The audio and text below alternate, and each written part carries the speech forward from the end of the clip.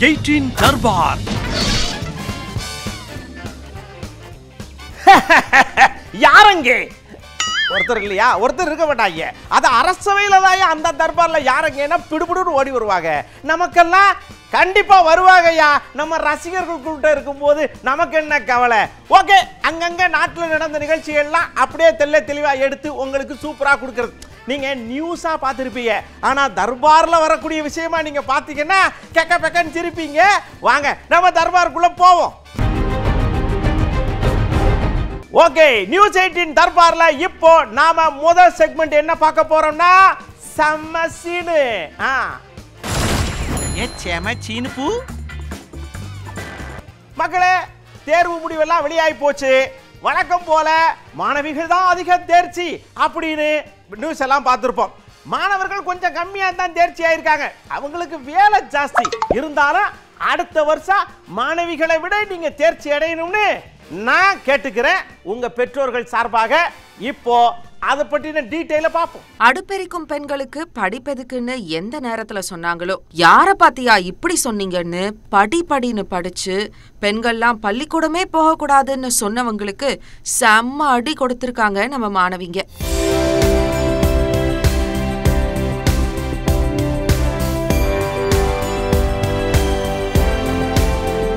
ஒரு உதாரணத்துக்கு சில விஷயங்களை சொல்றேன். நல்லா கேட்டுக்கங்க.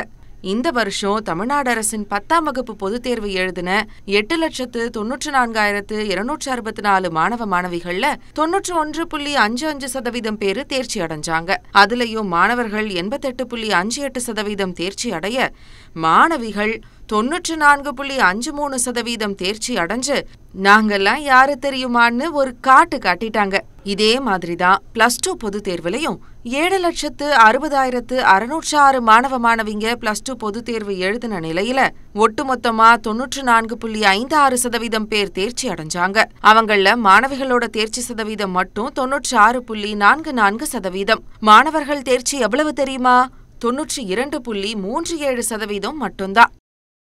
சிபிஎஸ்இ பத்தாம் வகுப்பு பொதுத் தேர்விலும் மாணவிகளே கோலோச்சிருக்காங்க தெரியுமா? இருபத்தி இரண்டு லட்சத்து முப்பத்தி எட்டாயிரம் பேர் எழுதின தேர்வுல மாணவர்கள் தொன்னூற்றி இரண்டு புள்ளி ஏழு ஒரு சதவீதம் தேர்ச்சி அடைய மாணவிகளோ தொன்னூற்று நான்கு புள்ளி ஏழு ஐந்து விழுக்காடு தேர்ச்சி அடைஞ்சு படிப்புன்னு வந்துட்டா நாங்க சலைச்சவங்க இல்லைன்னு பதிலடி கொடுக்க பதினாறு லட்சத்து இருபத்தோராயிரத்து இருநூற்றி இருபத்தி நான்கு பேர் எழுதின சிபிஎஸ்இ பனிரெண்டாம் வகுப்பு பொதுத் தேர்விலையும் மாணவர்களை விட மாணவிகளை அதிகம் தேர்ச்சி பெற்றிருக்காங்க. அதாவது மாணவர்கள் எண்பத்தைந்து புள்ளி ஒன்று ரெண்டு சதவீதம் தேர்ச்சி பெற்ற நிலையில மாணவிகள் தொன்னூற்றொன்னு புள்ளி ஐந்து இரண்டு சதவீதம் பேர் தேர்ச்சி பெற்றிருக்காங்க.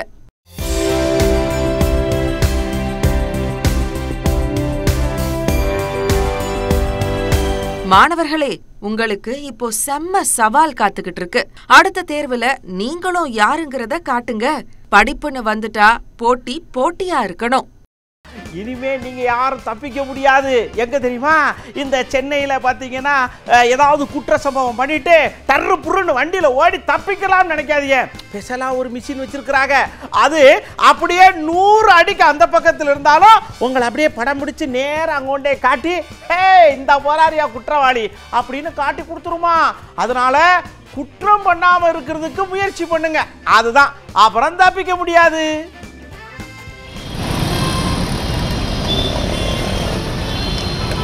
போலீஸை கண்டாலே பொதுமக்கள் பதறி தாங்க போவாங்க. ஆனா அந்த போலீஸுக்கே பயத்தை காட்டுறது எது தெரியுமா? கிடைக்கிற ஆதாரங்களை மட்டுமே வச்சுக்கிட்டு குற்றத்தை பண்ண உண்மையான குற்றவாளி யாருன்னு சரியா கண்டுபிடிக்கிறது தான். இந்த விவகாரத்துல தான் புதுசா ஒரு ரூட்டை போட்டிருக்காங்க நம்ம சென்னை போலீஸ். அதாவது வண்ணாரப்பேட்டை பகுதிகளில் சோதனை முறையில் ஐவிஎம்எஸ் தொழில்நுட்பம் கொண்ட அதிநவீன கேமராக்கள் பொருத்தியிருக்கிறாங்க. நூறு மீட்டர் தொலைவில் ஒரு வாகனம் வரும்போதே அந்த வாகனத்தோட பதிவெண்ணை துல்லியமாக படம் பிடிக்கும் கேமரா. அடுத்தனுடைய மாநகர காவல்துறையோட குற்ற ஆவண காப்பக பிரிவுக்கு அதை அனுப்பி வைக்கும். அங்க சம்பந்தப்பட்ட வாகனத்துக்கு குற்றச்சம்பவங்களோட தொடர்பு இருக்கான்னு அலசி ஆராய்ஞ்சு ஒருவேளை அப்படி ஏதாவது பொறி தட்டுச்சுன்னு வைங்க. அடுத்த செகண்டே சம்பந்தப்பட்ட காவல் எல்லைக்குட்பட்ட உதவி ஆணையர் காவல் ஆய்வாளர் உதவி ஆய்வாளருக்கு எச்சரிக்கை அனுப்பி தட்டி தூக்கிடுவாங்க. அந்த வண்டி இந்த இந்த கிராஸ் பண்ணும்போது நமக்கு ஒரு நூறு மீட்டர்ல கவர் ஆகும்போது நமக்கு ஆட்டோமேட்டிக் ரெக்கார்ட் பண்ணி இமீடியட்டா ரெக்கார்ட் பண்ணி அது வந்து சிஆர்பிக்கு போவோம். சிஆர்பிக்கு போனோம்னு நமக்கு அந்த வண்டி வந்து பாஸ் ஆகுனாக்கா நம்ம தகவல் சொல்லுவாங்க. உடனே நம்ம வந்து நடவடிக்கை எடுத்து அந்த வண்டியை வந்து சேஸ் பண்ணலாம் சார் வண்ணாரப்பேட்டை காவல் மாவட்டத்தைப் போலவே வேளச்சேரி அடையாறு திருவள்ளிக்கேணி பகுதிகளிலையும் சோதனை முறையில் பயன்படுத்தப்பட்டாலும் ரொம்ப சீக்கிரமே எல்லா காவல் நிலையங்கள்லையும் இந்த கேமரா பொருத்தப்படும்னு சொல்லியிருக்கிறது. அட சூப்பர்ல. அடுத்து நாம பார்க்க போறது சொர்க்கமே என்றாலும்.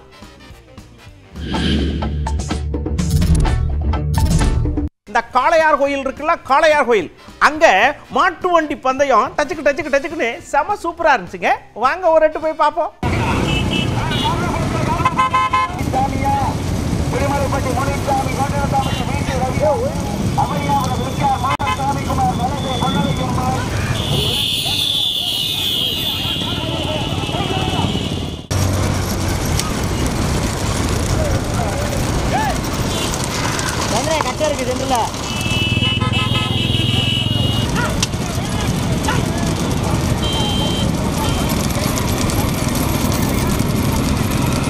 திருப்பரப்பு அருவியில திபு திபு திபுன்னு தண்ணி கொட்டுது. மக்கள்லாம் குளிக்காக நாம என்ன பண்ண முடியும்? இப்படி தான் வேடிக்கை பார்க்கணும்.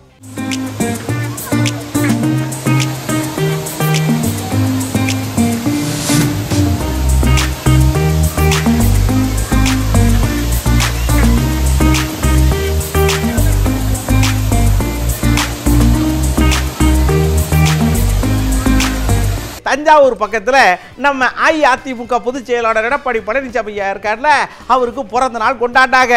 பிறந்த நாள்ல பிரியாணி எல்லாம் போட்டாங்க ஐயா. பிரியாணியை பார்த்த உடனே கூட்டம் அள்ளு அள்ளுன்னு அள்ளிருச்சு.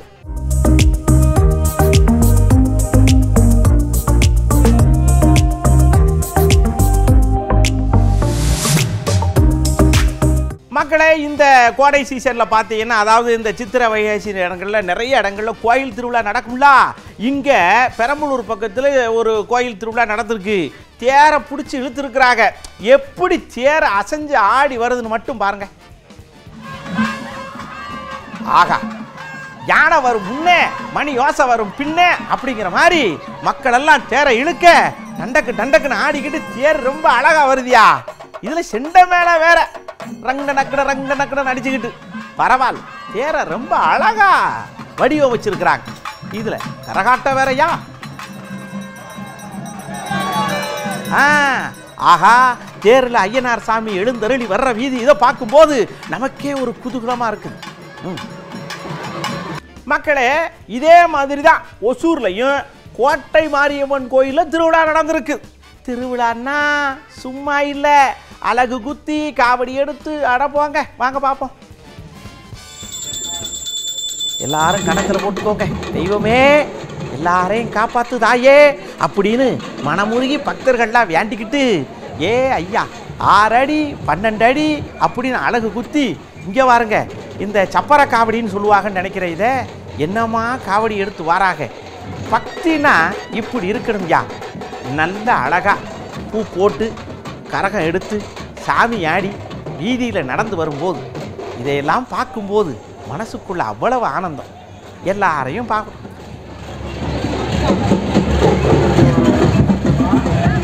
மக்களே எயிட்டீன் தர்பாரில் அடுத்து நாம பார்க்க போறது மக்கள் கருத்து. மக்கள் மனசில் இருக்கக்கூடிய எல்லா விஷயத்தையும் இப்போ நம்ம பார்க்க போறோம்.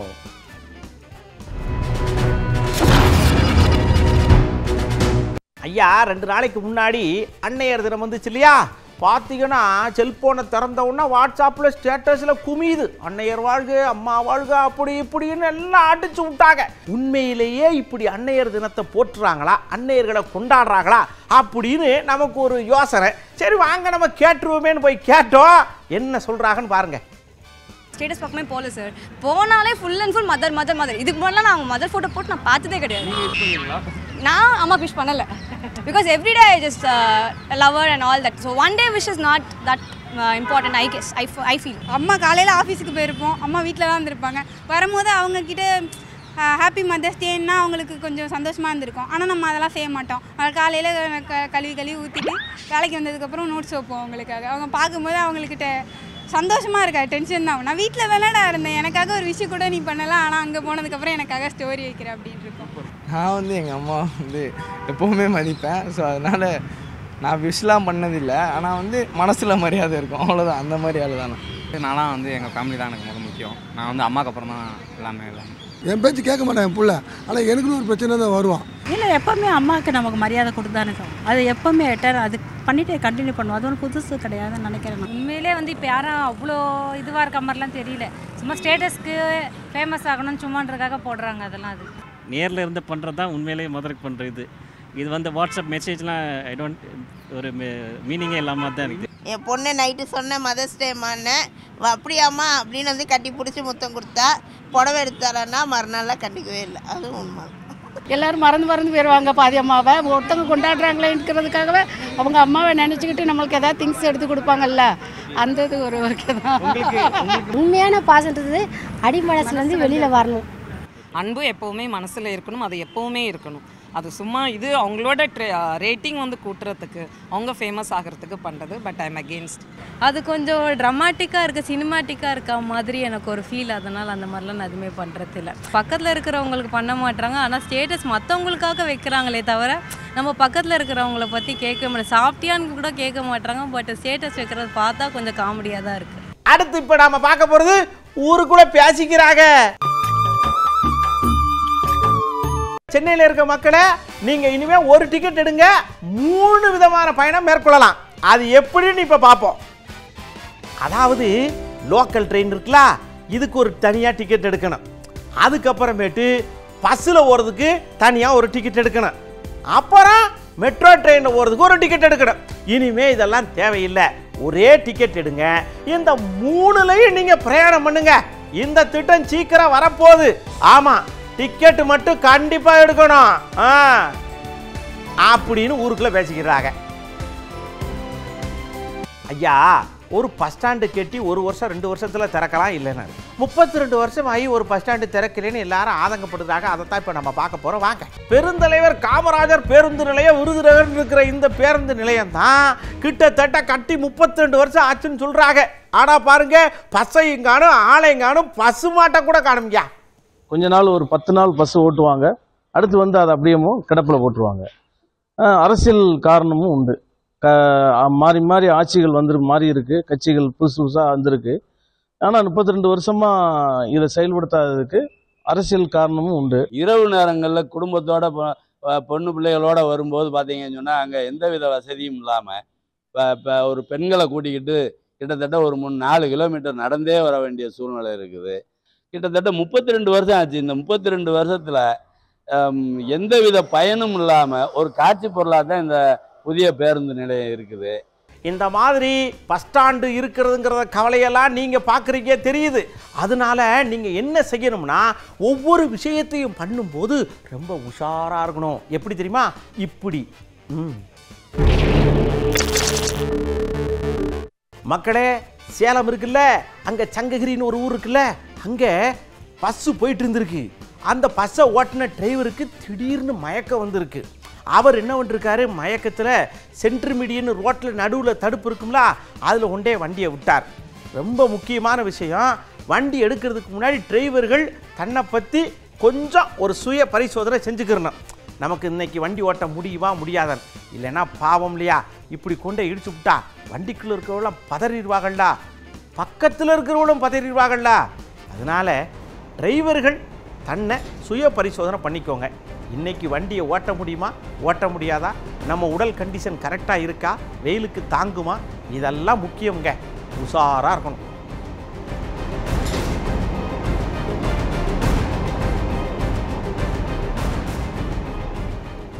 மக்களே ஊரில் மழை பெய்யுறது திடீர் திடீர் நடக்குது இல்லை? அப்படி மழை பெய்யும்போது ஏதாவது அசம்பாவிதம் ஏடா கூடமா நடந்து போகுது திடீர்னு வாருங்க கோயம்புத்தூரில் இப்படி தான் மழை பெஞ்சு ஒரு மரம் விழுந்து போச்சு நாலு வேளை பக்கத்தில் ஆறு இல்லைன்றதுனால தப்பிச்சாங்க. அதனால மக்களே மழை பெய்யும் போது நீங்கள் என்ன பண்ணணும்னா மரத்துக்கு கீழே ஒதுங்கக்கூடாது அதுமாரி ஊரார் வீட்டு பக்கம் ஒதுங்கக்கூடாது நேராக பொது வெளியில் நிற்கிறது பிரச்சனை இல்லைங்க. முடிஞ்ச அளவுக்கு மழை பெஞ்சுன்னா வீட்டை பார்த்து ஓடி போயிடுங்க. ஆம். உச்சாராக இருந்துக்கணும்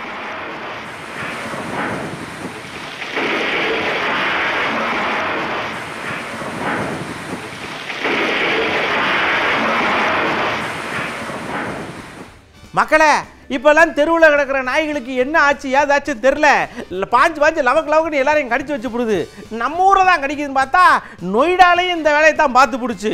இந்த நாய்களுக்கு ராத்திரி நேரத்தில் மட்டும் இல்லைங்க பகல் நேரத்துலையும் எதுவும் பிரச்சனை போல் இருக்கு. ஆனாலும் பாருங்கள் அந்த அம்மாவை கடிக்க வந்த நாய் என்னமோ தெரியல சரி போனால் போதுன்னு போயிடுச்சு போல் இருக்கு. அதனால உஷாராக தெருவில் போகும்போது நாய்கள் இருந்துச்சுன்னா அதுக்கிட்ட கொஞ்சம் ஜாக்கிரதையாகவே இருங்க. ஆமாம் குழந்தைகளை ரொம்ப பத்திரமா பார்த்துக்கிடுங்க. பக்கு பக்குன்னு இருக்குங்க. ஆ. அதுவும் நானெல்லாம் பைக்கில் போகும்போது விரட்டிட்டு வருது பாருங்க. ஐயோ அதெல்லாம் ஏன் கேட்குறீங்க ராத்திரி நேரத்தில்?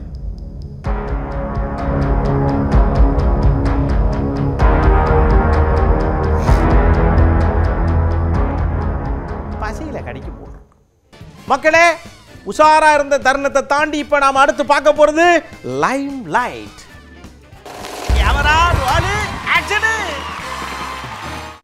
மக்களே லைம் லைட்டில் இன்றைக்கி நாம் பார்க்க போகிறது ஃப்ரான்ஸ் இருக்குல்ல ஃப்ரான்ஸு அங்கே கேன்ஸ் நகரத்தில் திரைப்பட திருவிழா தொடங்கியிருக்கு. ஐயோ என்னம்மா வருவாங்க பார்த்தீங்களா? அதெல்லாம் பார்க்கணும். ஒரு ரெண்டு பார்க்க பார்ப்போம்.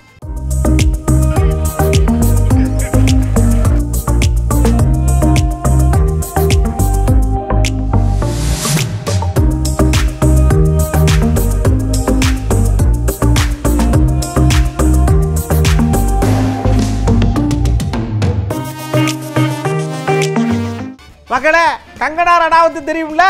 அவங்க நடிகையாக இருந்ததோட மட்டும் இல்லாமல் இப்போ வேட்பாளராகவும் மாறிட்டாங்க. போய் மனு தாக்கலும் பண்ணிட்டாங்க. ஆமாம் மக்களெல்லாம் சந்தோஷத்தில் இருக்கிறாங்க. கங்கனா ரனாவத்து ஜெயிப்பாங்களா மாட்டாங்களான்னு.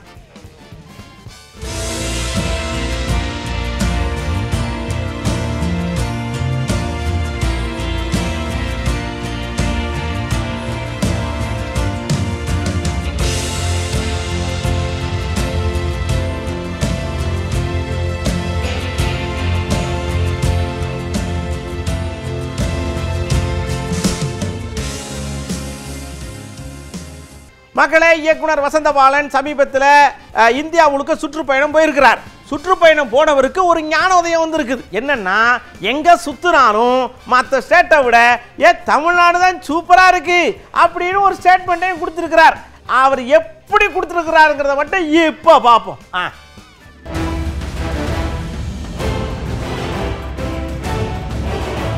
தமிழ்நாடு டாப்ல இருந்து பாட்டம் வரைக்கும் அவ்வளோ முன்னேறி இருக்கு.